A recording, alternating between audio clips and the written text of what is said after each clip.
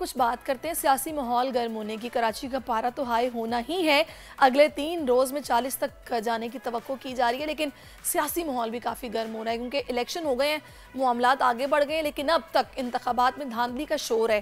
کل ایوان میں مولانا نے اپنے خطاب میں انتہائی سخت جملوں کا استعمال کیا ہے، الیکشن پر پھر انگلی اٹھائی ہے۔ دوسری جانب ہم دیکھ رہے ہیں کہ سنی اتحاد کانسل کے چیئرمن صاحبزادہ حامد رضا نے پی ٹی آئی کو ایک بار پھر اسمبلیوں سے استعفے دے کر سڑکوں پر احتجاج کرنے کا مشورہ دے دیا ہے۔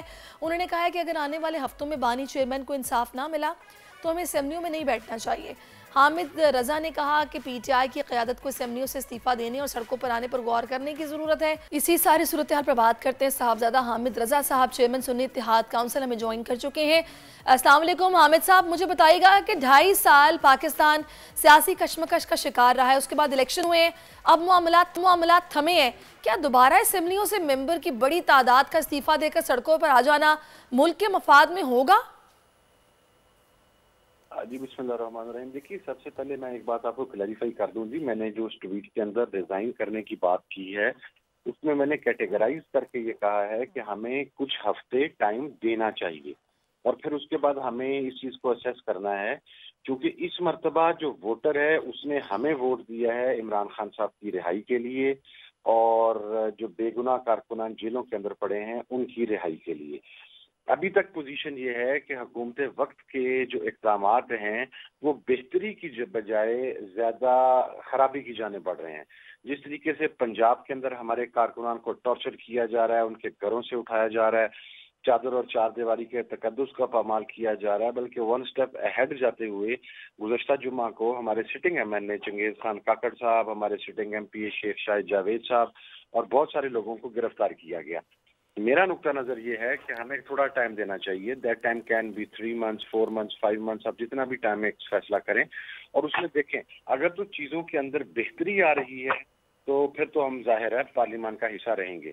لیکن اگر چیزیں جو ہیں وہ زیادہ ورسن ورسن ہونے کی طرف جا رہی ہیں زیادہ خراب ہونے کی طرف جا رہی ہیں عمران خان صاحب کے جیل سے باہر آنے کا کوئی چانس نہیں ہے تو پھر میں اپنی ذاتی رائے میں میں مناسب نہیں سمجھتا کہ ہمیں پھر ایسی کسی اسمبلی کا حصہ رہنا چاہیے۔ یہ اگین میرا ذاتی نقطہ نظر ہے۔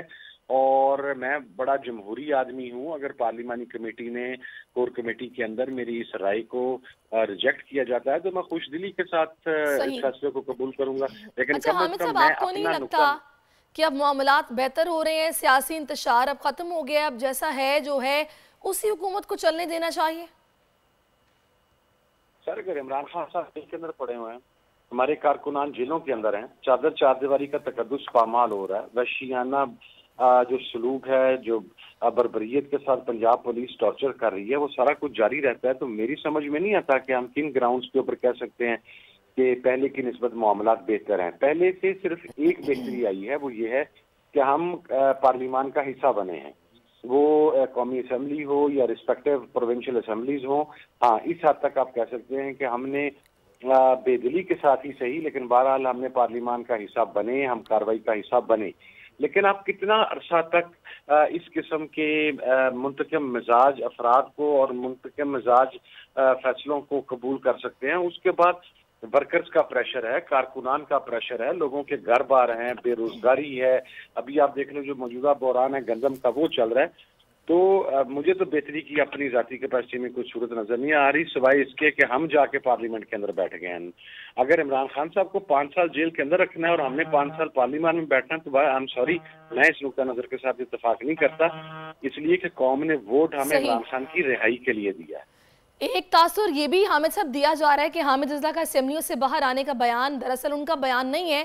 بلکہ جیل میں موجود ایک شخصیت کی نئی سیاسی چال اس کو کہا جا رہا ہے، تو میں چاہوں گی اس پر اپنا رد عمل دیجیے گا۔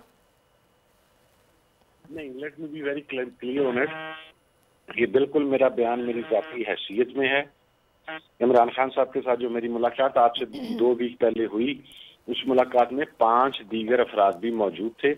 وہاں پر اس حوالہ سے کوئی بات نہیں ہوتی۔ میری ذاتی رائے ہے، باقی کوئی کسی بات کو ٹویسٹ کرنا چاہے تو میں اسے کچھ کہہ نہیں سکتا وہ تو ہماری سیدھی باتوں کو بھی ٹویسٹ کر دیتے ہیں۔ لیکن اس کے اوپر ویری کلیئر کہ جی یہ میری اپنی ذاتی رائے ہے اس کے اندر عمران خان صاحب کی مشاورت یا ایون کسی اور جماعت کی مشاورت شامل نہیں ہے۔ اچھا حامد صاحب کل مولانا نے دو ٹوک الفاظ میں کہا ہے کہ پاکستان میں پالیسی سازوں کی پلاننگ اچھی نہیں ہے اس طرح ملک نہیں چل سکتا تو کیا آپ کو لگتا ہے کہ مولانا بھی سڑکوں پر آ سکتے ہیں؟ مجھے مولانا تو ہر حکومت کے خلاف سڑکوں پر ہوتے ہیں اور اس کے بعد پھر مولانا جب جاتے ہیں تو پتہ ہی نہیں لگتا۔ تو ابھی وہ بات تو کر رہے تھے یا پتہ نہیں ان کے اس کے پیچھے موٹیوز کیا ہیں، ان کے گولز کیا ہیں۔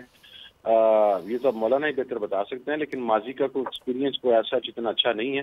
وہ تو ہمارے دور حکومت میں بھی آئے تھے اور سب کا بوریا بھی صرف گول نکل، کرنے کے لیے آئے تھے اور اس کے بعد واپس تشریف لے گئے۔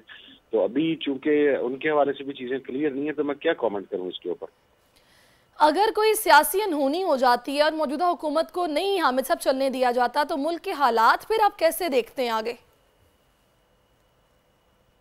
دیکھیں، پاکستان کے حالات تو اس وقت تک ٹھیک ہو ہی نہیں سکتے، جب تک جن لوگوں کو حقیقی معنوں میں عوام نے مینڈیٹ دیا ہے، وہ اقتدار ان کے حوالے نہیں کیا جاتا۔ دیکھیے، جمہوریت کا قطن یہ مقصد نہیں ہے کہ آپ کسی کا گلا گھونٹ کر آپ وہ اس کی گردن کے اوپر پاؤں رکھ کر اقتدار کے اوپر پہنچ کے بیٹھ جائیں اور پھر آپ یہ ڈنڈورا پیٹنا شروع کر دیں کہ چلے کوئی بات نہیں، ظلم ہو گیا، زیادتی ہو گئی، غلطی ہو گئی، اب آپ سسٹم کو کیری آن کریں۔ یہ قطن جمہوریت کا مقصد نہیں ہے، نہ ہی جمہوریت کا پیغام یہ ہے۔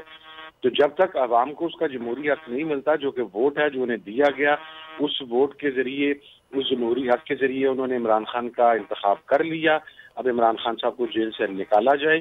انہیں واپس بھجوایا جائے، وہ باہر آئے، وہ آ کے جو پالیسی دیں گے، وہ سب اس کو فالو کریں گے۔ باقی جہاں تک حکومت کا ہے، حکومت تو بھجن اس کی کیپیسٹی اور کیپیبلٹی ہی نہیں ہے۔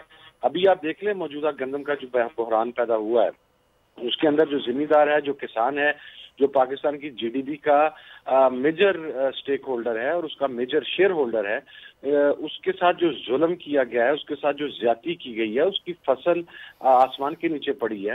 اس فصل کو لینے والا کوئی نہیں ہے، جو حکومت نے منیمم ریٹ مقرر کیا تھرٹی نائن ہنڈریڈ اس کے اوپر کو گندم پرچیز کرنے کے لیے تیار نہیں ہے۔ بائیس سو، تیئیس سو، چوبیس سو۔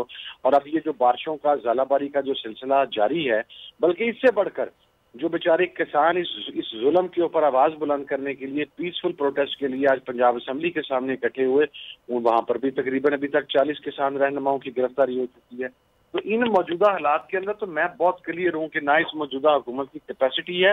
یہ تو اور ایک سال رہ گئے تو جو کو دو چار پرسنٹ اچھا حامد صاحب موجودہ بیانات کی روشنی میں کیا ہم یہ کہہ سکتے ہیں کہ موجودہ حکومت کو مٹ ٹرم آنے تک شدید دشواری کا سامنا ہوگا اور یہ کمزور حکومت ثابت ہوگی اور آنے والے چند مہینوں میں حکومت گرنے کا خدشہ موجود ہے؟ جی میں یہ سمجھتا ہوں کہ انتہائی کمزور حکومت ہے اس کی بنیادی وجہ اس کے نمبرز نہیں ہیں۔ نمبر کے لحاظ سے تو شاید وہ بہت مضبوط ہوں، انہیں فارم فورٹی سیون کے ذریعے نمبرز پرووائڈ کر دیے گئے ہیں۔ لیکن ظاہر ہے، ان کے پاس کوئی اخلاقی جواز بھی نہیں ہے داندلی زدہ حکومت ہے۔ میں اسے زیادہ عرصہ طویل عرصہ چلتا ہوا نہیں دیکھتا۔ یہ میری اپنی ایک بحثیت، سیاسی کارکن، ایک سیاسی ورکر میری یہ رائے ہے کہ مجھے یہ حکومت زیادہ چلتی ہوئی نظر نہیں آ رہی۔ ٹھیک ہے۔ بہت شکریہ صاحبزادہ حامد رضا صاحب، آپ نے اپنا قیمتی وقت ہمیں دیا اور اللہ صبح آپ ہمارے ساتھ موجود رہے ہیں۔ Thank you so much for your time تو ناظرین، دیکھتے ہیں کہ صورتحال آگے آنے والے دنوں میں کیا بنتی ہے۔ پریشر تو بلڈ ہونا شروع ہو گیا ہے۔ مولانا بھی سڑکوں پر ہوں گے۔ اگر یہ بھی سڑکوں پر آ جاتے ہیں تو یقینی طور پر حکومت کے لیے دشواری ہوگی۔ سبسکرائب کریں اور بیل دبائیں تاکہ کوئی خبر رہ نہ جائے۔